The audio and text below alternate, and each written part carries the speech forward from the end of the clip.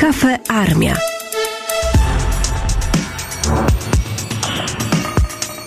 Agnieszka Drążkiewicz, Kafarmia. Dzień dobry. Dzisiaj ze mną i z Państwem generał Mirosław Bryś, szef Centralnego Wojskowego Centrum Rekrutacji. Zawsze boję się, że tą nazwę źle wypowiem, ale chyba się udało. Witam serdecznie Panie Generale. Dzień dobry Pani, dzień dobry Państwu. Panie Generale, za Wami świeżo jesteście po odprawie półrocznej, jeżeli chodzi o funkcjonowanie centrów wojskowych rekrutacji. No i można powiedzieć, że chętnie bym Panu oddała mikrofon, żeby Pan opowiedział, jakie są wnioski z półrocznego działania z tej struktury w trochę zmienionej formule, bo wiemy, że też wymusiła troszeczkę inne działania na Was ustawa o obronie ojczyzny i też zadania, które dostaliście. Szanowna Pani redaktor, Szanowni Państwo, jesteśmy po półrocznej ocenie naszej działalności. I nie ukrywam, że ta ocena jest bardzo dobra. Cele, które sobie założyliśmy, udało się zrealizować, udało się je osiągnąć, mogę powiedzieć, z nawiązką. I te wszystkie rzeczy, które udało nam się zrobić, pozwalają nam z optymizmem patrzeć w przyszłość. Cele, które wytyczył minister obrony narodowej przed nami, czyli rekrutacja minimum 25 tysięcy kandydatów do dobrowolnej zasadniczej służby wojskowej, jest celem niezagrożonym. Obecnie mamy przyjętych do dobrowolnej zasadniczej służby wojskowej ponad 18 tysięcy. Ponad 18 tysięcy osób rozpoczęło w tym roku dobrowolną zasadniczą służbę wojskową. Natomiast decyzji wydanych do szkolenia na turnusy, które będą się odbywały lipiec, sierpień i i do końca roku jest już ponad 22 tysiące. Tych decyzji ponad 22 tysiące to jest 91% realizacji tego celu 25-tysięcznego. To pozwala nam z optymizmem patrzeć w przyszłość i snuć plany na kolejne lata. Te przedsięwzięcia, które podejmowaliśmy i realizowaliśmy w przeciągu tego pół roku, przyniosły wymierny efekt w postaci dużej liczby kandydatów do służby. Mówi Pan o wykonaniu planu z nawiązką, czyli udało się pewnie zrobić więcej, tak mniemam, niż zakładaliście. Pewnie był taki bardzo urealniony optymizm. Okazało się, że to zainteresowanie chyba kandydatów do tej dobrowolnej służby, o której Pan wspomniał, jest dużo większe niż oczekiwaliście. Zainteresowanie kandydatów służbą wojskową różnych, różnymi formami służby wojskowej jest bardzo duże. Bo tu mówimy o, zarówno o dobrowolnej zasadniczej służbie wojskowej, jak również o terytorialnej służbie wojskowej oraz e, służbie jako żołnierzy zawodowych, ale osób powołanych z pasywnej rezerwy. Na to przekłada się też bardzo, bardzo duża ilość przedsięwzięć e, realizowanych przez e, Wojsko Polskie, przez Ministerstwo Obrony Narodowej. Wspomnę tutaj o programie Samoobrona Kobiet Zaufaj Wojsku, obecnie jest realizowany, ale trenuj jak żołnierz, trenuj z wojskiem, tre, tre, trenuj z NATO. To wszystko są duże programy realizowane na terenie całej Polski, gdzie obywatele mogą wziąć w tych programach udział i zapoznać się ze specyfiką wojską.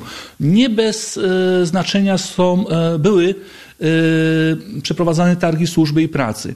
To jest nowum, które realizowaliśmy w marcu, które cieszyło się bardzo dużym zainteresowaniem i po targach służby i pracy mieliśmy bardzo duży odzew, zarówno w stosunku ludzi młodych, którzy byli zainteresowani ofertą uczelni wojskowych, jak i również osób, które były zainteresowane służbą wojskową, różnymi formami służby wojskowej. Tak jak mówię, dobrowolną, zasadniczą służbą wojskową, czy w wojskach obrony terytorialnej.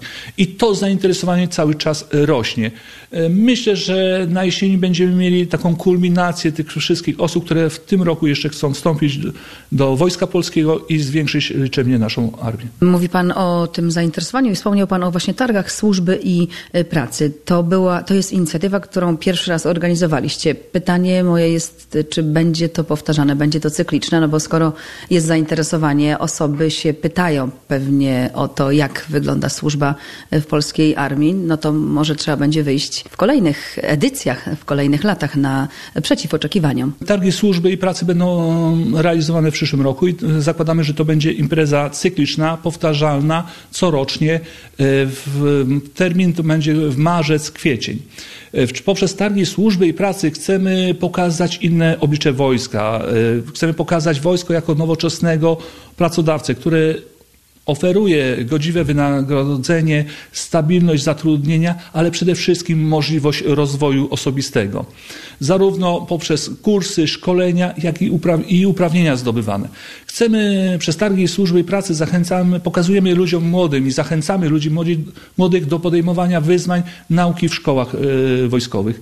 Dla e, osób e, starszych proponujemy służbę wojskową. I Widzę, że to przynosi e, wymierne efekty i zainteresowanie jest bardzo duże. Stąd e, decyzja, że w przyszłym roku również będziemy robić targi służby pracy e, w marcu i w kolejnych latach będziemy te przedsięwzięcia powtarzali. Tutaj chciałbym zaznaczyć, że pokazujemy inne oblicze wojska, wojska nowoczesnego. Uczestnicy targów służby i pracy mogli się zapoznać z nowoczesnym uzbrojeniem, z nowoczesnym sprzętem, z nowinkami technicznymi z rzeczywistością wirtualną, w którą e, wchodzimy przy promocji służby wojskowej. To jest cały konglomerat działań, które realizujemy, a które przynosi odpowiednie efekty. Mówi pan, panie generale, o zainteresowaniu i o tych różnych e, propozycjach ze strony polskiej armii dla osób, które chciałyby właśnie założyć mundur. E, a jakie macie doświadczenia, czy jakie macie analizy, jeżeli chodzi o tych kandydatów potencjalnych? Czy to są osoby z mniejszych miast, czy raczej osoby w średnim wieku, czy właśnie młode osoby się pytają, czy jest to w ogóle bardzo różnorodna grupa ludzi? Prowadzimy szereg analiz i prowadzimy szereg e, zestawień, porównań. Tutaj y, chcę zauważyć, że największe zainteresowanie służbą wojskową mamy w województwie warmińsko-mazurskim. To województwo, województwo warmińsko-mazurskie przoduje we wszystkich praktycznie rankingach, w szczególności w zakresie dobrowolnej zasadniczej służby wojskowej. Y, inne województwa, kujawsko-pomorskie, y, również jest bardzo duże zainteresowanie. Te zestawienia są prowadzone i pokazują nam jak zainteresowanie wygląda służbą wojskową e, na terenie całego naszego kraju, ale również rozbijamy to zainteresowanie, gdzie, które i wiemy, gdzie na przykład dobrowolna zasadnicza służba wojskowa, w których województwach cieszy się największym zainteresowaniem, gdzie wojska obrony terytorialnej mają największe zainteresowanie. Także to, to jest cały czas monitorowane, śledzone i też pod tym kątem budujemy swoje, swoją promocję, y, przekaz, żeby dotrzeć do jak najszerszego spektrum y, społeczeństwa. Również widzimy y, kwestie zainteresowania na przykład oddziałami przygotowania wojskowego jak to rozkłada się na terenie naszego kraju, gdzie, które województwa, które powiaty są tym zainteresowane i to nam pokazuje, gdzie młodzież jest zainteresowana również służbą wojskową, bo nie ukrywam, że bardzo dużo uczniów oddziału przygotowania wojskowego, nazwijmy to no, klas mundurowych, później aplikuje do uczelni wojskowych czy też do e, służby wojskowej. Stąd e, ten program e, oddziału przygotowania wojskowego bardzo mocno rozwijamy i staramy się, aby był propagowany. Czy tak naprawdę mówi Pan o takiej e, zorganizowanej trochę akcji wyłapywania niejako ludzi już na początku ich tak naprawdę, no nazwijmy to tej życiowej, zawodowej drogi, żeby właśnie ich wciągnąć trochę no, do wojska, no bo jeżeli inwestujemy w młodych ludzi i widzimy też zainteresowanie u tych młodych ludzi, to podejrzewam, że dla Was no, to jest idealny kandydat na żołnierza. Ja bym tu nie używał słowa wyłapywania, pani redaktor. E, bardziej proponujemy, e, proponujemy e, młodym ludziom różnego rodzaju możliwości rozwoju. I widzę, że młodzi ludzie z tego korzystają gdyż nie ukrywam, że nauka w oddziałach przygotowania wojskowego to jest coś więcej niż tylko zdobywanie wiedzy, edukacji. edukacji. To jest e, również możliwość przeżycia swoistego rodzaju przygody. To jest doświadczenie z wojskiem. E, to jest nauka nie tylko umiejętności strzeleckich, taktycznych, ale również pierwszej pomocy. To jest możliwość udziału w wymianie międzynarodowej. To jest możliwość uczestniczenia w szeregu rodzaju kursów realizowanych przez jednostki patronackie lub przez same wojsko to jest możliwość poszerzenia swojej wiedzy i swoich umiejętności, które będą przynosiły, e, procentowały w przyszłości. Także młodzież jest tym bardzo mocno zainteresowana. No bo gdy porównamy szkołę, która oferuje tylko naukę 5 dni w tygodniu, od 7-8 godzin w salach lekcyjnych z oddziałem przygotowania wojskowego, który oprócz tej nauki oferuje różnego rodzaju wyjazdy, kursy, naukę strzelectwa, pierwszej pomocy, terenoznawstwa, wyjazdy na obozy zorganizowane, możliwość wymiany międzynarodowej, uczestniczenia w różnego rodzaju przedsięwzięciach, jak na przykład ogólnopolski przegląd muszty klas mundurowych czy innych przedsięwzięciach, to ta młodzież widzi, że ktoś się nią interesuje, że ktoś, na, ktoś oferuje jej coś więcej. I takie podmioty są e, wybierane. Te szkoły cieszą się bardzo dużym zainteresowaniem. Wymienił Pan te wszystkie różnego rodzaju projekty, propozycje dla młodych ludzi. E, to nie sposób chyba też nie wspomnieć o tej wymianie międzynarodowej kadetów, bo ona jest też organizowana już od jakiegoś czasu i też jest powtarzana cyklicznie e, i też centra wojskowe mają w tym swój duży udział. Wymiana międzynarodowa była realizowana. Okres pandemii spowodował, że zrezygnowano z tej formy. My w ubiegłym roku do tej formy wróciliśmy. E, wymiany e, uczniów e, oddziałów przygotowania wojskowego, klas mundurowych w gronie międzynarodowym. Pierwszy, już pierwszy obóz jest za nami, International Cadel Cup, który był realizowany na Węgrzech. Za nami są również zawody, które były nad Balatonem gdzie nas reprezentowała szkoła z Żywca, z Moszczanicy.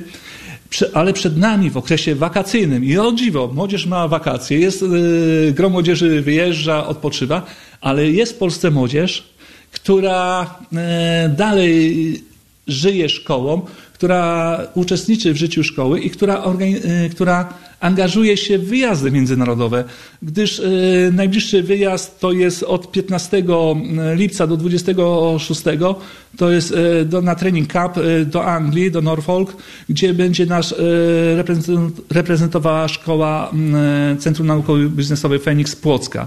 Ślad za tym wyjazdem jest kolejny wyjazd na obóz międzynarodowy, tym razem do Szkocji gdzie również będziemy mieli szkołę, e, na, naszą reprezentację. To będzie brał udział 20 osób. Kolejne e, wyjazdy to jest Litwa, to jest Estonia, ale my w Polsce organizujemy również e, Baltic Guard, Guard obóz adresowany dla E, tych wszystkich e, krajów, które zapewniają naszej młodzieży, e, młodzieży wyjazdy. Także w Polsce będziemy w Ełku gościli zarówno szkoły litewskie, estońskie, jak i z Wielkiej Brytanii. To jest taka międzynarodowa wymiana, która pozwala nam zaciśnić tą współpracę, współpracę i podzielić się doświadczeniami z innymi państwami. Tutaj wiodącą rolę odgrywają centralne wojskowe centra rekrutacji, ale również jednostki patronackie, które wspierają, bo mm, jeżeli chodzi o Baltic Guard, wspiera nas 15. Giżycka Brygada Zmechanizowana i 4. Warmińsko-Mazurska Brygada Obrony Terytorialnej. Powiedział Pan o ważnym chyba takim aspekcie, jeżeli chodzi o tych młodych ludzi, bo ja przyszłam tutaj troszeczkę też z założeniem na rozmowę z Panem. Y, chciałam zapytać, czy wakacje to rekrutacja i w ogóle te procesy związane z pozyskiwaniem y, kandydatów do służby y, upadają i umierają i idą na plażę, a to okazuje się, że jest wręcz przeciwnie. Jeżeli mówimy o promocji, o rekrutacji, to mówimy o działaniach e, mozaikowych. To są e, działania prowadzone w różnych obszarach, w różnym czasie. Nie ma przerwy wakacyjnej. E, wojskowe centra rekrutacji się nie zamykają. One cały czas funkcjonują, pracują. Ja mówiłem tutaj o młodzieży, która, wymianie międzynarodowej, młodzieży, która będzie wyjeżdżała z Polski do innych państw na zasadzie wymiany. Ale tutaj nie sposób nie wspomnieć, że od 10 lipca startuje, mm, startują egzaminy na uczelnie wojskowe. I tutaj bardzo duże zainteresowanie młodych ludzi, młodych ludzi yy, nauką w uczelniach wojskowych. I od 10 lipca startują egzaminy. I ta, e, te egzaminy będą trwały, e, są podzielone na tury, będą trwały e, praktycznie dwa tygodnie i ta młodzież będzie tutaj starała się o indeksy w uczelniach wojskowych. To też absorbuje tych młodych ludzi. A przed nami oczywiście również szkolenia w formie skróconej, 12-dniowej, adresowanych dla uczniów oddziału przygotowania wojskowego czy klas mundurowych. Te szkolenia się odbywają w turnusach skróconych, 12-dniowych, ale w miesiącach wakacyjnych w sierpniu i kolejny turnus we wrześniu. Czy takie szkolenie 12-dniowe to jest wystarczające dla Was, dla armii, żeby takiego młodego człowieka przeszkolić, przygotować i potem w niego dalej pewnie inwestować? W mojej ocenie jest wystarczające, bo te osoby, które miały możliwość obserwowania uczniów klas mundurowych, w czasie e, różnego rodzaju obozów, treningów, widzą na jakim poziomie jest ta nasza młodzież. E, te wszystkie osoby, które miały możliwość oceniania, oglądania e, uczniów klas mundurowych startujących w przeglądzie, klas, przeglądzie musztry klas mundurowych, widziały to ogromne zaangażowanie. W Zakopanym odbył się finał ogólnopolskiego przeglądu klas e, mundurowych, który trwał dwa dni. Rywalizacja stała na bardzo wysokim e, poziomie. E, sędzia z pułku reprezentacyjnego miał dużą zagwozdkę odnośnie przydzielenia punktacji, ale wszystkie osoby, które obserwowały zmagania tych, tej młodzieży, oklaskami nagradzała te ich występy. To jest bardzo wysoki poziom. To jest inwestycja e, w młodzież. E, program nauczania w oddziałach przygotowania wojskowego jest tak skonfigurowany, aby ta młodzież była przygotowana do służby wojskowej. I muszę pani powiedzieć, że e, jeżeli jesteśmy po pierwszym szkoleniu skróconym, 12-dniowym, Poziom wykruszalności to jest 0,6%. Tylko kilka osób z powodu doznanych urazów wycofało się z tego szkolenia podstawowego. Pozostałe osoby, które rozpoczęły, ukończyły to szkolenie. Ta młodzież jest przygotowana, bo ona na, funkcjonuje w, w umundurowaniu, w ubiorze żołnierskim. Zna, w rygorze pewnie podejrzewam rygo, jakimś Zna rygor y, żołnierski, y, zna, umie się przygotować do ćwiczeń, no jest do tego przygotowana, stąd te skrócone szkolenia przynoszą swój efekt. No a poza tym też jak mówimy o tych skróconych szkoleniach, to mówimy też o młodzieży, która tak naprawdę na co dzień w tym roku szkolnym uczy się w klasach właśnie mundurowych i chociażby podejrzewam, że też uczestniczy w tych zajęciach, jeżeli chodzi o to naukę rzemiosła wojskowego i zapewne są też takie klasy i takie szkoły, które mają możliwość korzystania ze strzelnic y, i to jest też program kolejny, nad którym również trzymacie pieczę, więc tych programów jest w Centrum Rekrutacji naprawdę bardzo dużo, panie generale. Jak wygląda ten program budowania tych strzelnic? Jeżeli chodzi o program e, Strzelnica w powiecie, bo o ten program pani pyta, ten program cieszy się bardzo dużym e, zainteresowaniem. W tym roku zakończyliśmy nabory do tego programu i e, na chwilę obecną e, e, zostało mm, podpisane umowy na 100, powstanie 188 strzelnic, strzelnic różnego typu. Tutaj prym wiodą strzelnice wirtualne, następnie strzelnice pneumatyczne i strzelnice klasyczne. To pokazuje, jak wielkim zainteresowaniem cieszy się zarówno program e, Szczelnica w powiecie i rozwój e, umiejętności strzeleckich, bo nie ukrywam, szczelnica e, wirtua typu wirtualnego, szczelnica pneumatycznego to są um, oddziały przygotowania wojskowego, to są klasy mundurowe. Szczelnice klasyczne to są już um, powiaty, które inwestują um, troszeczkę więcej i szerzej. Także... A chętnie powiaty się angażują w budowanie czy tych klasycznych, czy też tych właśnie pneumatycznych strzelnic? Bardzo mocno się powiaty mm, tym interesują i tych powiatów przybywa.